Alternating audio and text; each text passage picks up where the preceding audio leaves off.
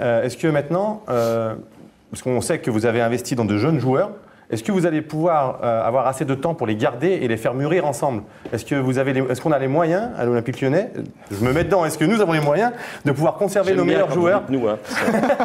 Est-ce qu'on a, c'est vrai. est-ce qu'on a les moyens pour Mais pouvoir garder notre hein, effectif pas- et continuer? Parce qu'on sait qu'en deux ou trois, il faut deux trois ans de maturité ensemble pour pouvoir créer un vrai groupe et une vraie équipe. Non, mais vous, avez, vous avez parfaitement euh, raison. Euh, la volonté, c'est celle-là. Mais ça, c'est comme l'aspect tactique tout à l'heure. Pour une fois, j'ai raison. Merci, C'est-à-dire qu'entre la volonté ça.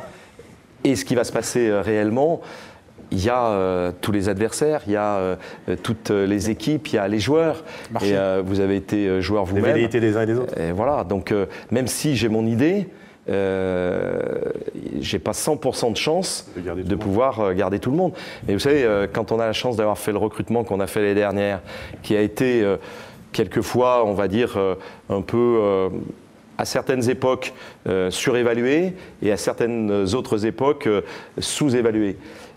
Eh bien, on a euh, sûrement intérêt à essayer de faire mûrir tous ces joueurs. Mais comme ils sont très bons, mais ils vont être sollicités. Donc je ne peux rien garantir aujourd'hui. Ce que je peux vous dire, c'est qu'on aura une équipe l'année prochaine qui sera encore plus forte que celle que cette année.